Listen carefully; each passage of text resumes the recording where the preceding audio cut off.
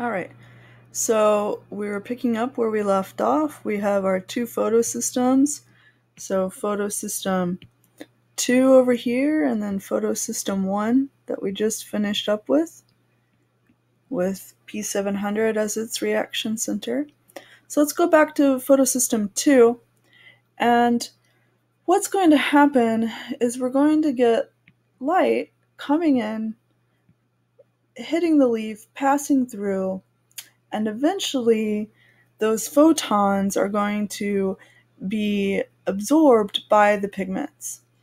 Once that happens, the energy that's transferred will go from pigment to pigment to pigment until that energy is absorbed by the reaction center. Okay. So that energy boosts an electron from the reaction center. It actually boosts two at once, but let's just concentrate on electrons.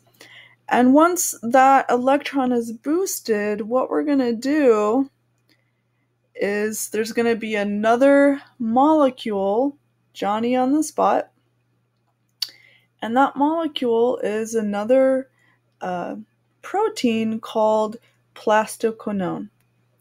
All right. So we're going to put uh, kind of a just a circle in here to denote plastoquinone.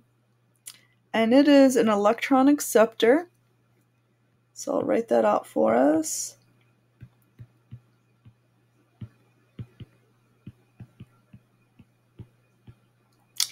So it grabs the electron from the outer orbital where it was boosted by all of that resonance energy being focused into that reaction center.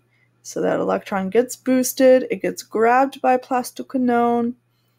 Plastoquinone is then going to transfer that electron to a very special protein and that next protein um, is actually a complex of different proteins called cytochrome B6F.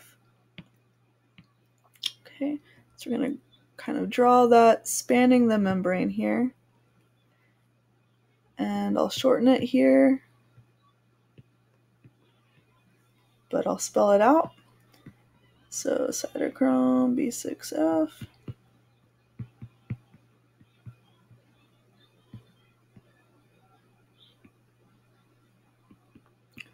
All right, so that's a complex of proteins. Plastoquinone and cytochrome B6F are going to work together. So that electron from plastoquinone gets shuffled to cytochrome B6F, and then we have another protein enzyme down here um, inside that membrane called plastocyanin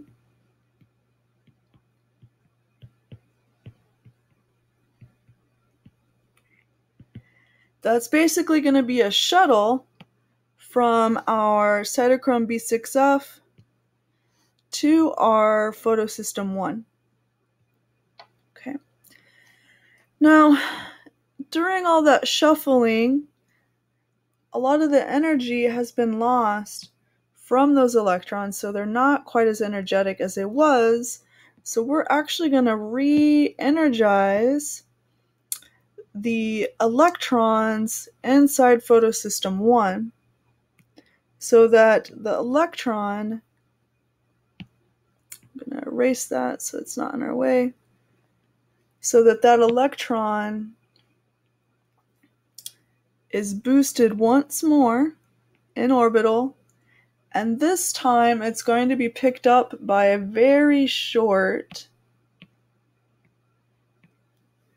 electron transport